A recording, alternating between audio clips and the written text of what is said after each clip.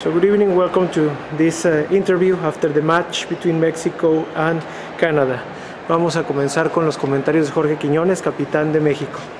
Eh, bueno, primero felicitar a Canadá por, su gran partido el día de hoy.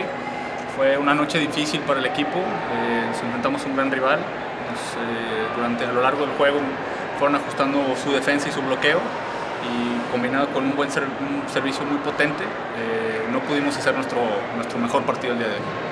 Okay.